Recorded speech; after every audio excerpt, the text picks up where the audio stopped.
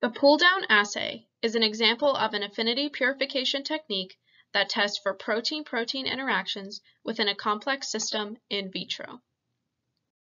So where exactly do these proteins come from? This question can be answered by the fundamental idea of the central dogma, where DNA is transcribed into RNA and RNA is translated into proteins. Within its specific sequence, DNA contains the information needed to make the body's proteins. However, this information must first be transcribed into RNA, which is read like a code, and translated into the functional product, proteins. As stated, this assay utilizes the concept of protein-protein interactions because proteins are known to rarely act alone. Instead, they function as complexes that are built from a large number of protein components. This comprises of only those interactions which are highly stable, like electron transfer, signal transduction, and cell metabolism, and excludes any that are transient, like touching of ribosomes, chaperones, and degradation machinery.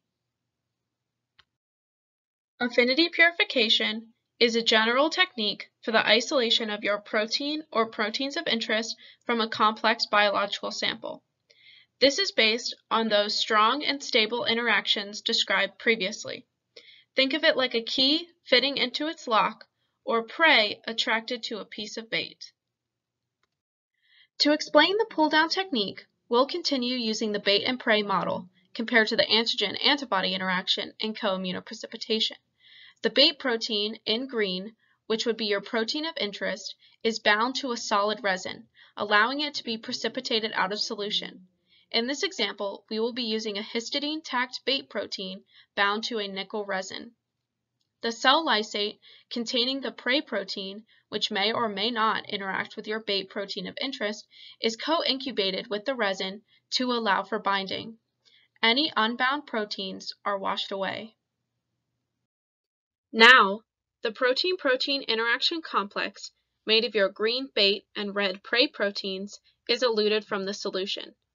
The method of protein elution can range from using analytes that compete with your bait for histidine binding to lowering the pH or using reducing buffers.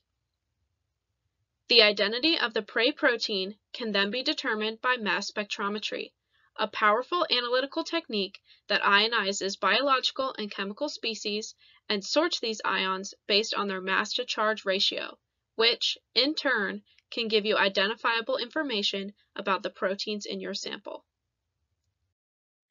The pull-down assay is useful for both confirming the existence of a predicted protein-protein interaction or as an initial screen to identify unknown interactions. This technique has been used to map protein-protein interactions within multiple species, and results can be easily validated using similar molecular biology techniques such as co-immunoprecipitation or yeast-2 hybrid. Thanks for watching.